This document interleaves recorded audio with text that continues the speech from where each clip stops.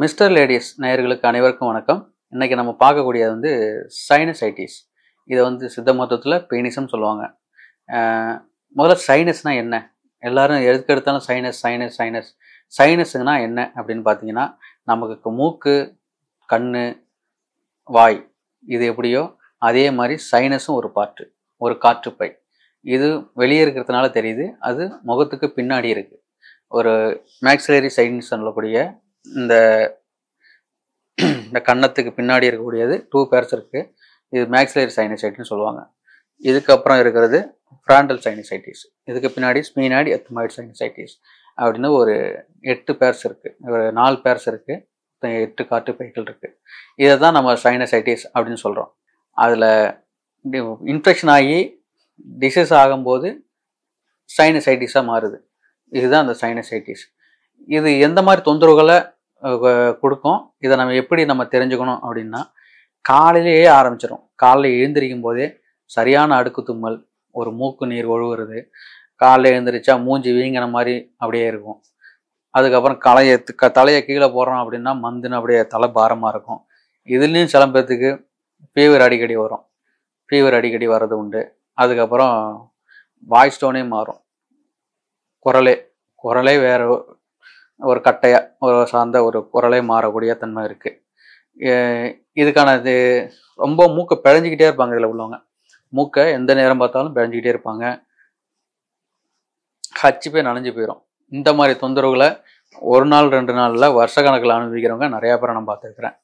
இதுக்கான மருத்துவ முறைகள் நம்ம சித்த மருத்துவத்தில் இருக்கா அப்படின்னா கண்டிப்பாக இருக்குது முழுவதும் குணமாகக்கூடிய அளவுக்கு எல்லா மருத்துவ நல்ல மருத்துவ முறைகளும் இருக்குது இதில் என்ன நடக்குது அப்படின்னு பார்ப்போம் முதல்ல.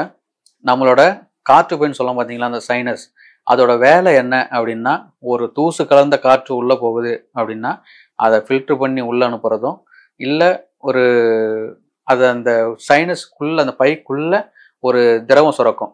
அந்த தூசுகளை வெளியே தள்ளும் அது. அந்த சைனஸ் பையில இருந்து ஒரு சின்ன குழாய் மூலியமாக நம்ம மூக்குக்கு ஒரு பாத்வே இருக்குது அந்த பாத்வே வழியாக அந்த சளி வரும். அந்த தூசியெல்லாம் எல்லாத்தையும் வெளியே தள்ளுறது தான் இதோட வேலை. ஏதாவது ஒரு அப்நார்மலாக ஏதாவது உள்ளே போகுதுன்னா அதை ஃபில்டர் பண்ணி வெளியே அனுப்புறது தான் சைனோஸோ வேலை. இது என்ன பண்ணும் அப்படின்னா ஒரு பாத்வே இருக்குன்னு சொன்னோம் பார்த்தீங்களா அந்த பைக்குள்ள ஏதோ ஒரு இன்ஃபெக்ஷன் அது வைரஸாக இருக்கலாம் ஃபங்கலாக இருக்கலாம் ஏதோ ஒரு கிருமியாக இருக்கலாம். கிருமினால இன்ஃபெக்ஷன் ஆகி இல்லை அலர்ஜியாக கூட இருக்கலாம். அலர்ஜி ஒவ்வாமை. எனக்கு இது ஒத்தோட ஒத்துக்காதுப்பா. எனக்கு ஒரு முடி ஒத்துக்காதுப்பா. ஒரு ஏசி முன்னாடி அப்படியே மூஞ்சி அப்படியே வச்சிட்டு இருக்கிறாங்க அப்படின்னா அவங்களுக்கு அது ஒத்துக்காது. ஏதோ ஒரு அலர்ஜி இல்லை ஒரு இன்ஃபெக்ஷனு இது ரெண்டும் தான். இது ரெண்டுனால அவங்களுக்கு அதில் இன்ஃபெக்ஷன் ஆகி சளி சுரப்பு அதிகமாக இருக்கும் வெளியே தள்ளுறதுக்கு. ஆனால் என்னாகும்? அந்த வர பாத்வே வந்து அடைச்சிரும் அந்த சளி வரக்கூடிய பாத்வே அடைச்சதுனால அந்த பேஷண்ட்டுக்கு இந்த கையை அப்படி அழுத்துறீங்க அப்படின்னா வலி இருக்கும். வீங்க இருக்கும் இந்த இடத்துல. எந்த அந்த காற்று இப்போ எங்கெங்கே இருக்குன்னு சொன்னானோ இந்த ஃப்ராண்டல்னு சொன்னேன் இங்கே மேக்ஸ்லேரின்னு சொன்னேன் ஸ்பீனார்னு சொன்னேன் அந்த காற்று போய் இடத்துல அழுத்துறீங்க அப்படின்னா உங்களுக்கு வலி இருக்கும். ஏன்னா அந்த திரவம் வந்து வெளியே வராமல் அடைச்சிக்கிட்டு உள்ளே இருக்கிறதுனால வீக்கம் வெளியே தெரியும். கொஞ்சம் வீங்கின மாதிரி இருக்கும். அந்த இடத்த அழுத்துறீங்க அப்படின்னா அழுத்தம் கொடுக்கும்போது வலி அதிகமாகும். இது மருத்துவ முறைகள் என்ன? நான் அந்த மருந்து எடுக்கிறேன் இந்த இதை பண்ணுறேன் ஒன்றும் தேவையில்ல. சாதாரணமாக இந்த அடைப்பை எடுக்கணும் அப்படின்னா பெஸ்ட் மெடிசன் வந்து ஆவி பிடிக்கிறது. நீ யாருக்கிட்டையும் போக வேண்டாம். கிராமப்புறங்களாக இருந்தால் நொச்சு தவை இந்த ஆர்எஸ்பதி தவை இந்த மாதிரி கிடைக்கும். அதோட சார்ந்து கொஞ்சம் மஞ்சள் இல்லாட்டி ஒரு நாலு மிளகு உப்பு இந்த மாதிரி சேர்த்து போட்டு பிடிக்கலாம். இல்லை கிராமப்புறத்தில் இருக்கு நான் டவுனில் இருக்கேன் எனக்கு எதுவும் கிடைக்காதுன்னா வெறும் சுடு தண்ணியில் கொஞ்சம் மஞ்சள் ஒரு ஸ்பூன் மஞ்சளை போட்டு கொஞ்சம் உப்பை போட்டு ஒரு நாலு மிளகு தட்டி போட்டு மட்டும் பிடிங்க. வாரத்தில் ரெண்டு நாள் பிடிக்கிறீங்க அப்படின்னா அந்த ஓட்டையை அந்த ஓட்டை அடைப்பு வந்து உடனே நிட்டுரும். அங்கே உள்ளே தங்கியிருக்கிற சளி எல்லாம் அப்படியே வெளியே வந்துடும் முகம் அப்படியே குறையும். அந்த பஃபினஸ் அந்த வீக்கங் இந்த மந்துன்னு இருக்கு பாருங்க. அப்படி குனிஞ்சா அப்படியே அப்படியே மண்டை அப்படியே கீழே அப்படியே விழுற மாதிரி இருக்கும். அப்படியே மொத்தமாக சரியாயிரும். ரெண்டு நாள் மூணு நாள் ஆவி பிடிக்கிறதுலையே மொத்தமாக சரியாயிரும். அதுக்கப்புறம் அதுக்கான மருத்துவ முறைகள் எடுக்கிறது நல்லது. இது இதோட விளைவாக என்ன ஆகும் அப்படின்னா செப்டல் நேசல் செப்டம் டீவேஷன் சொல்லக்கூடிய அந்த மூக்கை பார்த்தா தெரியும். அப்படி லைட்டாக வளைஞ்ச மாதிரி இருக்கும். சரிங்களா?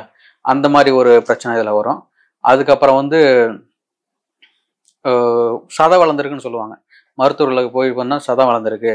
சர்ஜரி பண்ணணும் அப்படின்னு சொல்லக்கூடிய ஒரு சூழல் இருக்குது இது எல்லாமே நம்ம மருத்துவ முறையில் வந்து சின்ன சின்ன வைத்திய முறைகள் தான்.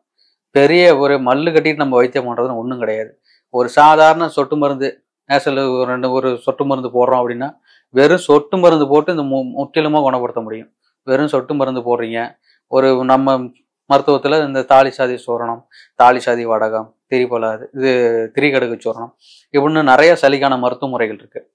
இது ஏதாவது ஒன்று நீங்கள் பின்பற்றும் வகையில் இந்த சைனசைட்டிஸை முற்றிலுமாக தவிர்க்க முடியும். இதை நான் ஏன் சொல்ல வரேன்னா இந்த நோய்களை பற்றி நீங்கள் புரிதல் அதிகமாக இருந்துச்சுன்னா நீங்கள் மருத்துவரை அணுகவே தேவையில்ல. நீங்களாவே சரி பண்ணிக்கலாம். அதனால் நான் இதை பற்றி சொல்கிறேன் முக்கியமாக நம்ம ஆவியை சில பேர் பிடிக்கிறது கிடையாது. நம்ம எடுத்தா போயிட்டு ஒரு மருத்துவமனையை போயிட்டு நெப்பு வைக்கிறது.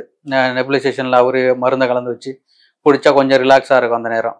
மறுபடியும் வீட்டில் வந்து படுத்துக்கிறது. ஒன்றும் இல்லை. கொஞ்சம் மெனக்கட்டிங்கன்னா ஒரு ச- தண்ணியை போட்டு சுட வச்சு ஒரு ஆய்வை பிடிக்கிறீங்க அப்படின்னா உடனே உங்களுக்கு ரிலாக்ஸாக நல்லா தெரியும். இது நம்ம செஞ்ச மருத்துவம் தான். இப்போ காலப்போக்கில் அப்படியே மர மாறிட்டே வருது எல்லாமே.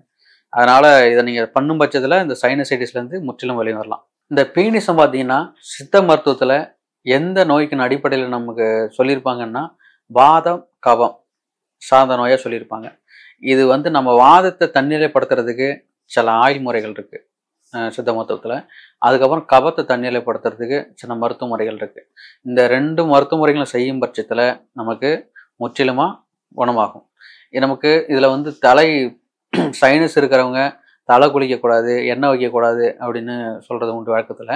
ஆனால் சித்த மருத்துவ முறையில் சுக்கு தைலம் இந்த மாதிரி தலையில் வச்சு அந்த வாதத்தை தண்ணியில் படுத்துறதா இருக்கட்டும் அதுக்கப்புறம் மூக்கில் சொட்டு மருந்து போடுறதா இருக்கட்டும் அதுக்கப்புறம் கபத்தை நீக்கிறதுக்கு சாதாரணமாக வீட்டில் மிளகு ரசம் நண்டு சூப்பு இந்த மாதிரி செஞ்சு சாப்பிட்றதுனாலையும் இதுக்கான முழு பலனை உடனேக்கே நமக்கு தெரியும்.